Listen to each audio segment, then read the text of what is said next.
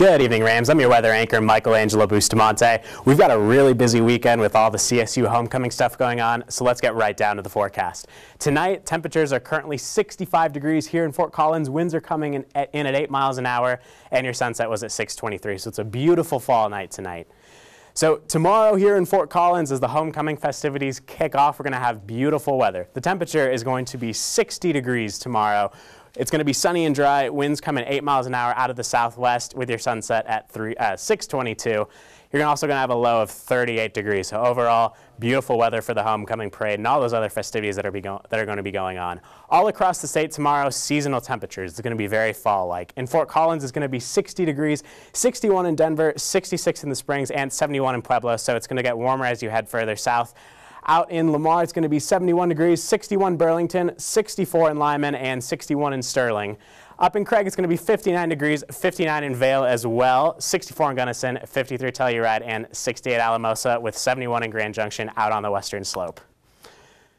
Now, the five-day forecast here in Fort Collins, it's going to look pretty nice except for on Saturday. So for the homecoming game, it is going to be cold and rainy. Otherwise, they look pretty nice and sunny. So tomorrow, once again, 60 degrees here in Fort Collins and sunny. Saturday, though, for the game, it's going to be 55 degrees, raining with the low of 29. It's not going to be a pleasant day, cloudy, dark, and gloomy. So be sure, be sure to bundle up as you head out to the 5K or tailgate at the game. But the rest of the week, though, it's going to be drying out. 57 on Sunday, 68 on Monday, and 69 on Tuesday. So other than Saturday, it's going to be beautiful weather. Now your forecast for tomorrow's homecoming parade is going to be very, very seasonal. So it's going to be 57 degrees. At, the temperature is going to be 57 in Old Town. That parade starts in Old Town. It's going to make its way around the Oval, through campus, and finish at CSU's brand new stadium. Winds are going to be 9 miles an hour. It's going to be very fall-like. So beautiful temperatures. I'd recommend, or beautiful weather. I'd recommend definitely coming in a jacket or something nice to keep you warm. Otherwise, though, perfect weather. And for tomorrow's, the game for the, uh, the weather for the forecast, uh, the game on Saturday, it's going to be 42 degrees and raining at kickoff. Winds are going to be 16 miles an hour. It's going to be cold, rainy, and windy. Uh, it'll be, it'll be, it won't be the best weather, but let's hope our Rams can get it done on Saturday.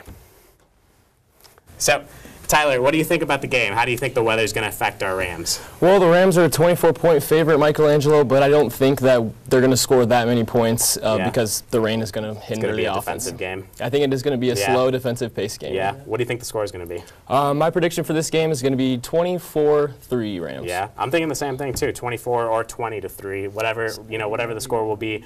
I think our defense is good enough to hold them from scoring any uh, any touchdowns or anything like that Most at all. Definitely.